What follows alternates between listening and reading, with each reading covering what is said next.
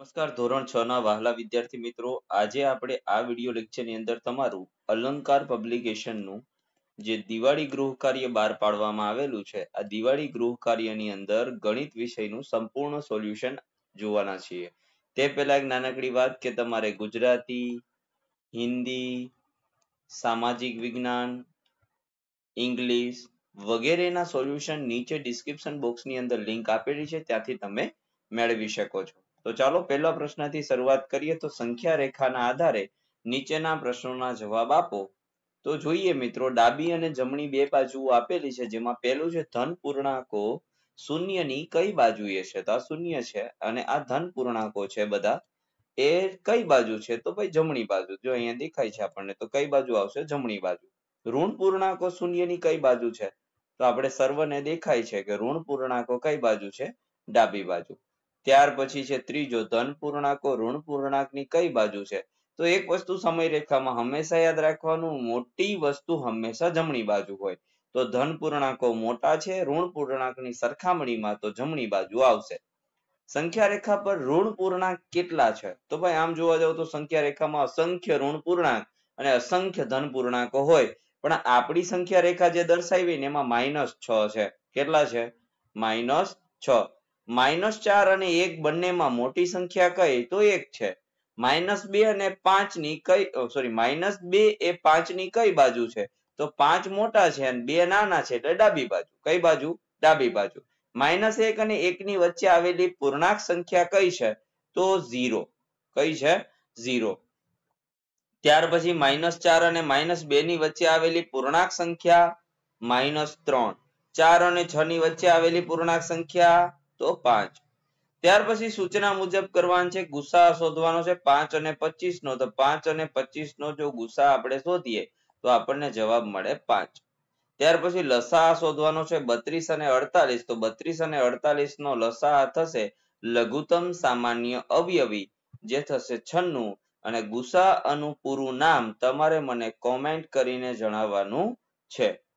આનું તો મેં તમને કહી દીધું, લસાઅનું લઘુત્તમ સામાન્ય અવિયવી. ઓકે? ચાલો. ત્યાર પછી છે ત્રીજું તીર્થ બુક સ્ટોરનું વેચાણ નીચે મુજબનું છે, તેના આધારે ઉપજેલ રકમ શોધવાની છે. નોટબુક સત્યાવીસ રૂપિયા એકની કિંમત છે એવી સત્યાવીસ હજાર ત્રણસો પચીસ વેચાણી, તો સાત લાખ સાડત્રીસ હજાર સાતસો પંચોતેર રૂપિયા ભાવ થાય. આ બંનેનો ગુણાકાર, આ બંનેનો ગુણાકાર, આ બંનેનો ગુણાકાર. આ બધાના ગુણાકાર કરવાના છે એટલે તમને સામેની રકમ જવાબમાં મળી જશે. ચારનું તમારે બેતાલીસ હજાર નવસો બાસઠ હારે ગુણાકાર કરો પિસ્તાલીસ નો બે હજાર બસો પંચોતેર હારે આઠ નો બાર હજાર પાંચસો સાથે. ત્રણ નો આઠ હજાર નવસો પાસઠ સાથે. એક નો એક સત્તર હજાર છસો ત્રીસ સાથે. આવી રીતે ગુણાકાર કરશો તો તમને સામે આપેલા જવાબો મળી જશે. ઓકે? ચલો. હવે જે લોકોને ગુણાકાર નથી આવડતો તો આપણે એક સરળ અને સોબર ગુણાકાર લઈએ. આ ગુણાકારની વાત કરીએ, બેતાલીસ હજાર નવસો બાસાઠ એને ગુણ્યા ચાર કરવા હોય તો ચાર દુ આઠ, છ ચોક ને ચોવીસ ચોગડો વધી પડી બે, ચાર નવા છત્રી છત્રી ને બે આડત્રીસ વધી પડી ત્રણ, ચાર દુ આઠ આઠ ને ત્રણ, અગિયાર. અગિયારીઓ એકડો વધી પડી એક, ચોકે ચોકે સોળ ને સત્તર. એટલે થશે એક લાખ એકોતેર હજાર આઠસો ને અડતાલીસ. આવી રીતે તમે ગુણાકાર કરી શકો. ત્યાર પછી કોષ્ટક પૂર્ણ કરવાનો છે, એમાં ક્રમિક અવયવી લખવાના છે. મિત્રો, આમાં તમારે પંદર સુધીના પાડા આપેલા છે. કેટલા સુધીના? પંદર સુધીના અને ઊભો પાડો લખવાનો છે. કેવી રીતે? તો કે બે એકુ બે બે દુ ચાર, બે તે છ, બે ચોક આઠ, બે પંચા દસ, બે છક બાર, બે સત્તર ચૌદ, બે અઠા સોળ, બે નવ, અઢાર, બે દાન વીસ. ત્રણ એકુ ત્રણ ત્રણ દુ છ, ત્રણ તેર નવ, ત્રણ ચોક બાર, ત્રણ પંચા પંદર, ત્રણ છક અઢાર, ત્રણ સત્તા એકવીસ, ત્રણ અઢાર ચોવીસ, ત્રણ નવ સિત્તાવીસ, ત્રણ દાન ત્રીસ. એવી જ રીતના નવની વાત કરીએ તો નવ એકુ નવ નવ દુ અઢાર, નવ તેર સિત્તાવીસ, નવ ચોક છત્રીસ, નવ પંચા પિસ્તાલીસ, નવ છ ચોપન, નવ સત્તા ત્રેસઠ, નવ અઠા બોતેર, નેવે નેવે એકાસી, નવ દાન નેવું. ઓકે? આવી રીતે તમારે દસ સુધી લખવાના છે ને પંદર પાડા એટલે કે દોઢસો સુધીની સંખ્યા લખવાની છે એ પણ ક્રમિક. આડું લખો તો પણ ચાલે જો આવડતા હોય તો. ઓકે? ચલો. આપેલી આકૃતિમાં કુલ કેટલા કિરણ છે? તો કિરણ નંબર એક અને કિરણ નંબર બે. તો કેટલા કિરણો છે ભાઈ? તો બે કિરણો છે. અને કયા કયા? એક્સ, વાય અને એ બી. ઓકે?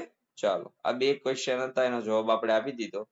આપેલી આકૃતિની તમામ બાજુ અને ખૂણાઓ લખો. તો જો આ એક બાજુ, આ બીજી બાજુ, આ ત્રીજી બાજુ અને આ ચોથી બાજુ. આવી ચાર બાજુઓ છે તો કુલ ચાર બાજુ અને કુલ ચાર ખૂણા. તો ખૂણાઓ અહીં આપણે લખેલા છે અને તમામ બાજુઓ જો તમારે લખવી હોય તો તમે લખી શકો બીસી સીડી એડી અને એબી આની પણ પાંચ બાજુ છે અને પાંચ ખૂણા છે. તો ખૂણા એ લખેલા છે જો આ પેલી બાજુ ક્યુ આ બીજી બાજુ આર આ એસ ત્રીજી ટી પી ચોથી અને પી ક્યુ પાંચમી. ઓકે? આવી પાંચ બાજુઓ છે.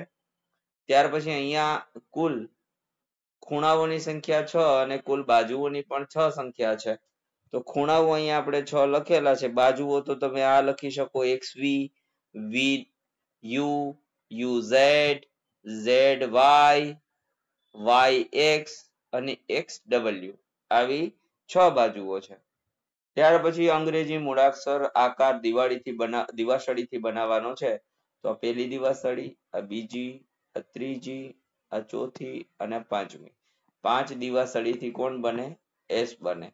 કે બનાવવો હોય તો આ એક, આ બીજી, આ ત્રીજી, આ ચોથી.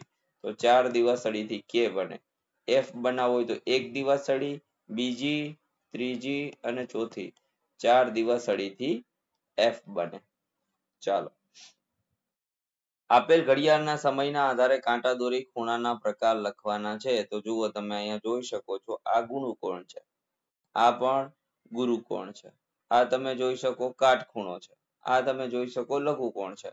સમય અહીંયા આપેલો છે, એ રીતે આપણે કાંટા દોરી દીધા. ત્યાર પછી તમારે દશાંશ અપૂર્ણાંકના સરવાળા કરવાના છે. તમામ એટલે તમામના સરવાળા અહીંયા થયેલા છે. પોઈન્ટની નીચે હંમેશા પોઈન્ટ આવવો જોઈએ. એનું ખાસ એટલે ખાસ ધ્યાન રાખવાનું. બાકી જે રીતે સાદો સરવાળો થાય, એ જ રીતે આ સરવાળો પણ થશે. ઓકે? ચાલો, તમને ના ખબર પડે તો આપણે આ એક દાખલો ગણી જોઈએ. ઓકે? બે ગણી જોઈએ, ચાલો. પાંચ ને ચાર કેટલા થશે? નવ થશે. પોઈન્ટની નીચે પોઈન્ટ આવે. ઝીરો ને ઝીરો કેટલા થાય? ઝીરો આઠ ને પાંચ તેર થશે. તેરિયો તગડો. વધી પડી એક. ચાર ને એક પાંચ. પાંચ ને ત્રણ આઠ થશે. પોઈન્ટ જ્યાં છે ત્યાં પોઈન્ટ મૂકવાનો. અને ઝીરો અને આઠ તો કેટલા થશે? આઠ થશે. આવી રીતે આપણે બધા દાખલા ગણેલા છે.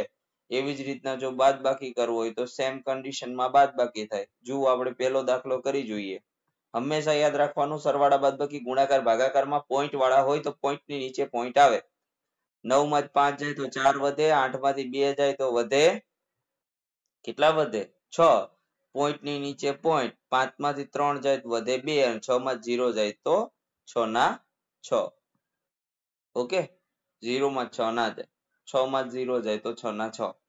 તો અહીંયા એ પણ બધા દાખલા ગણેલા છે. પંચાવન પોઈન્ટ ત્રણસો પાંત્રીસ, ત્રીસ પોઈન્ટ ચારસો સત્યાસી, પાંચસો ત્રાણું પોઈન્ટ સાતસો છત્રીસ, સત્તર પોઈન્ટ સાતસો નવ્વાણું, આ બધા દાખલા તમારે ગણી લેવાના છે. ત્યાર પછી મારા વાલા મિત્રો, આ તો હાવ હેલામ હેલી વસ્તુ છે. સૂત્રને ત્રણ વાર જોઈ જોઈને લખવાના છે.